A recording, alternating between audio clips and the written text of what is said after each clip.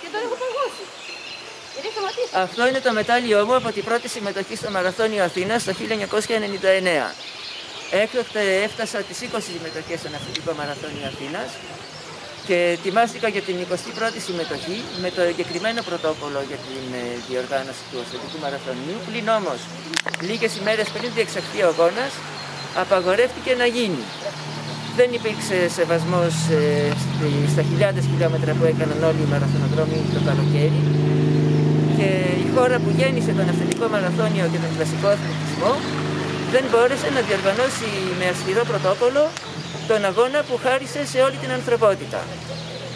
Ε, τώρα, στην, ε, όταν έκανα πρωταθλητισμό, δεν ε, μπόρεσα να κάνω κάποιο πανελλήνιο ρε- ρεκόρ, αλλά στις 7 Φεβρουαρίου το απέκτησα, καθώς είμαι ο πρώτος αθλητής στην Ελλάδα που συλλαμβάνεται επειδή αθλούταν.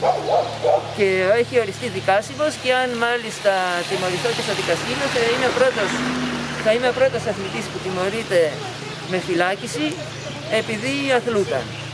Και όλα αυτά γιατί ο νόμος δεν ε, προβλέπει για κάθε άθλημα την, ε, ε, το δικό του πρωτόκολλο και μας αναγκάζει να είμαστε στις πεζοπορίες ανά τρία άτομα κάτι το οποίο δημιουργεί και κινδύνους ασφαλείας, τους- ιδίως σε όσους είναι άπειροι.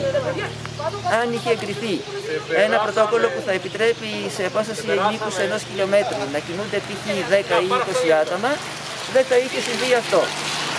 Ελπίζω σε μία άμεση επ- αποκατάσταση τόσο σε μένα όσο στους υπόλοιπους πέντε πεζοπόρους οι οποίοι επίσης ε, συνελήφθησαν και φυσικά στο Σύλλογο Τρεμένων Υγείας Βόλου ο οποίος έχει προσφέρει τόσο έργο στην ε, κοινωνία μας και βρέθηκε κατηγορούμενος για αυτό που κάνει κάθε μέρα την ε, μετάδοση της ε, άθλησης, της άσκησης και της υγείας. Ευχαριστώ. Κούτσο Καυτούρας, νευροχειρουργός στο νοσοκομείο του Βόλου και εδώ και κάποιο διάστημα έχω αρχίσει να ασχολούμαι με το αθλητισμό και, με τον, ε, και είμαι μέλος του Συλλόγου Δρομέων Υγείας.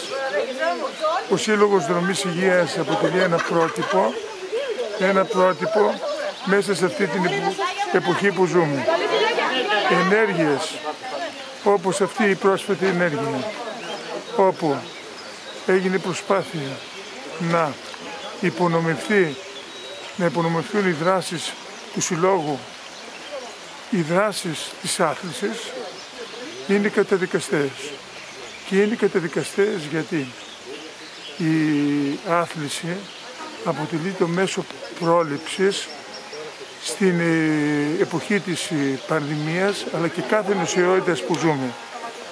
Είναι το όπλο, το όπλο του κάθε ανθρώπου για να μπορέσει να αντιμετωπίσει την, ε, να αντιμετωπίσει όλη αυτή τη μάστιγα της πανδημίας αλλά να αντιμετωπίσει την νοσηρότητα που υπάρχει και από την καθημερινότητα. Άρα λοιπόν, για να διαφυλάξουμε την υγεία ο καθένας μας, πρέπει σαν πρόγραμμα ζωής να βάλουμε στη ζωή μας την άθληση. Γι' αυτό λοιπόν σε καμιά περίπτωση και πέρα από την προσωπική εμπειρία τη δικιά μου, σε καμιά περίπτωση δεν πρέπει να υπονομεύονται τέτοιες δράσεις και δράσεις ενός συλλόγου που προάγει την υγεία. Η άθληση λοιπόν είναι πηγή ζωής, ο σύλλογος αυτός είναι πηγή ζωής και πρέπει όλοι να ακολουθούμε τέτοιες δράσεις γιατί μόνο έτσι μπορούμε να διαφυλάξουμε την υγεία μας και να, και να αποτελέσουμε και πρότυπο ζωής και για πολλούς άλλους συνανθρώπους μας. Στην εποχή που ζούμε μακριά από άλλες παθογένειες. Είναι μεγάλη τιμή να βρισκόμαστε σε αυτήν την ατομική πεζοπορία που ατύπως διοργανώνεται σήμερα, λαμβάνοντας βέβαια όλες τις προφυλάξεις και το μόνο που μας ενώνει εμάς εδώ πέρα τα 5-10 άτομα που είμαστε μαζεμένοι είναι η αγάπη να βρισκόμαστε σε κίνηση, να μην σταματάμε να περπατάμε, να τρέχουμε, ειδικά μέσα στη φύση που τόσο πολύ την αγαπάμε όλοι μας. Καλή συνέχεια. Κώστας Τσουράπας, αθλητής. Είμαι Μακεδόνα Παρασκευή, είμαι αθλήτρια και δρομέα στο Σύλλογο ΣΔΙΒ Βόλου. και διαμαρτυρόμαστε. Βρισκόμαστε εδώ αυτή την ημέρα σήμερα, αν και με βροχή, ε, για τον λόγο τον εξής ότι πρέπει να γίνονται οι πορείες, τα τρεξίματα, όλα, όλα τα θύματα. Δεν είναι τρόπος μετάδοσης εξάπλωσης του κορονοϊού και να συνεχιστούν και να μας επιτραπούν από, την, από όλους τους φορείς και από όλη την υγειονομία της πολιτείας να εξακολουθούμε να τρέχουμε χωρίς θα τήρουμε βέβαια τα προβλεπόμενα μέτρα που μας επιβάλλονται από, την, από τον νόμο, από την νομοθεσία και να είμαστε μέσα στην υγεία και να μην ε, κατά κύριο λόγο μας κυνηγούν λες και κάνουμε κάτι παράνομο και κάτι ε, εξαπλωτικό στην παρούσα επικείμενη φάση που περνάμε. Ευχαριστώ πολύ. Καλημέρα. Σήμερα το πρωί εδώ παρόντες στην περιοχή της Μακρινίτσας μαζί με το Σύλλογο Δρομέαν Υγείας ε, Βόλου ε, είμαστε παρόντες να μπορούσαμε να ελέγξουμε και αν τηρούνται οι κατάλληλες αποστάσεις μεταξύ των αθλητών που πάντα τηρούνται φυσικά. Ε, η φύση προσφέρει το καλύτερο για όλο αυτόν τον κόσμο. Ε, το διασκεδάσαμε, περάσαμε πάρα πολύ καλά με ασφάλεια και όλοι γυρίζουν αυτή τη στιγμή στο σπίτι του. Ε, η φύση και το βουνό του πηλίου προσφέρεται για όλους τους ανθρώπους για να μπορέσουμε να ξεφύγουμε από την πόλη με ασφάλεια και υγεία. Είμαι ο Θάνος Γουλομήτρος και είμαι από το Βόλο, δρομέας, πολλά χρόνια. Έχω κάνει μεγάλες αποστάσεις, υπερμαραθώνιους, αγαπώ το βουνό. Συνέχεια είμαστε στο βουνό, περπατάμε, τρέχουμε, ορειβασία και δυστυχώς όμως τώρα μας το έχουν κόψει αυτό. Μάλλον είναι πάρα πολύ κακό. Και ήρθαμε σήμερα να περπατήσουμε, με όλες τις κανόνες ασφαλείας μαζί με... Συναντήσαμε άλλο κόσμο μέσα στο μονοπάτι και όπως μπορείτε να δείτε υπάρχουν πολύ λιγότεροι μέσα σε αυτό το μονοπάτι από ότι αν θα περπατούσαμε στην παραλία του Βόλου. Την προηγούμενη εβδομάδα είχαμε, πριν από δύο εβδομάδες μάλλον είχαμε ένα, ένα παράξενο κρούσμα που γράψανε κάποια παιδιά που περπατούσαν εδώ πέρα στη Μακρινίτσα με όλες τις κανόνες ασφαλείας σε μια τεράστια έκθεση στο βουνό ήταν 10 άνθρωποι και η αστυνομία προφανώς θεώρησε ότι θα ήταν πολύ πιο ασφαλές να συγκεντρωθούμε στην παραλία του Βόλου. Μερικές χιλιάδες άνθρωποι σε, μερικά, σε μια ευθεία από τον Άγιο Κωνσταντίνο μέχρι την ε, παραλία. Είναι μερικά πράγματα τα οποία ε, είναι νομίζω κοινή λογική και καλό είναι να τα δούμε, καλό είναι να ακολουθούμε όλα τα υγειονομικά πρωτόκολλα, είναι πάνω απ' όλα η υγεία μας, η υγεία των συνανθρώπων μας, ακόμα και αν δεν μας νοιάζει η δική μας υγεία, αλλά πρέπει να, λάβουμε, να λάβουμε υπόψη μερικούς ε, παράγοντες, τις ιδιαιτερότητες κάθε αθλήματος που πηγάζουν από τις, ε, από τις καιρικές συνθήκες, από το ανάγλυφο του εδάφους, ε, από το είδος του αθλήματος, όπως παραδείγματος χάρη ας πούμε ποδήλατο. Ένας ποδηλάτης μπορεί να κάνει και 30, 40, 50 χιλιόμετρα μακριά από την, από την πόλη χωρίς να υπάρχει πρόβλημα, χωρίς να υπάρχει κάποιος άλλος δίπλα του. Ε,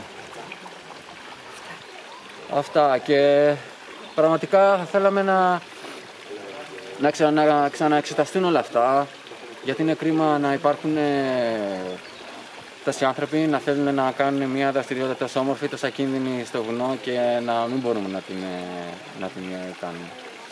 Αυτά. Καλημέρα. Ε, είμαι η Κατερίνα Καρατζιά, εκπαιδευτικός.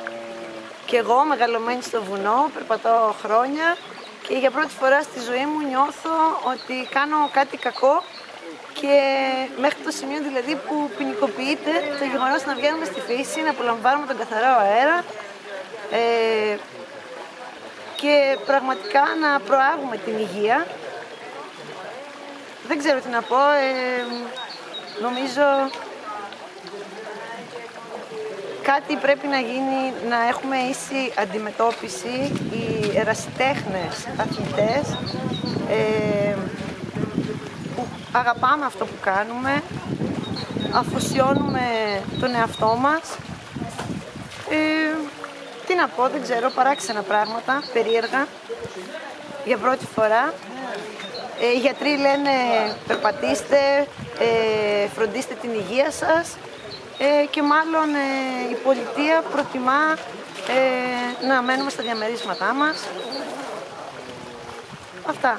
Ελπίζω να βρεθεί μια λύση ε, δίκη για όλους μας, χωρίς συμφέροντα και οτιδήποτε άλλο γίνεται, όπως για παράδειγμα στους επαγγελματίες, ε, στα αθλήματα του ποδοσφαίρου, του μπάσκετ, ε, που εκεί όλα επιτρέπονται εν ονόματι του χρήματος.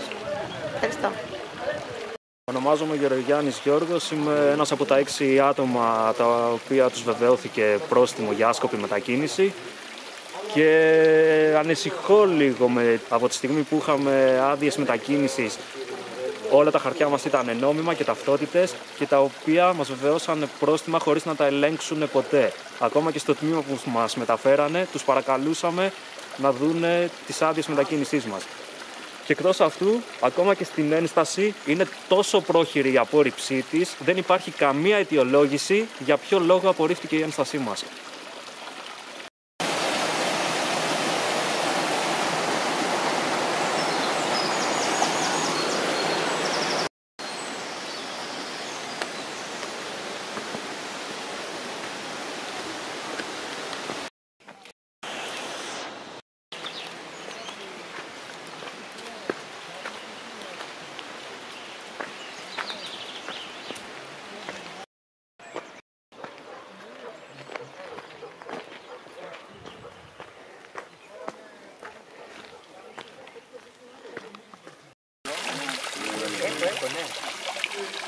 Να τρέχει δίπλα στη θάλασσα εδώ δεν είναι. Ναι, έχω πάλι εκεί ένα κατεβεί. Έχει, είναι, είναι τελείως διαφορετικά. Είσαι πολύ μες στην πόλη. Ενώ εδώ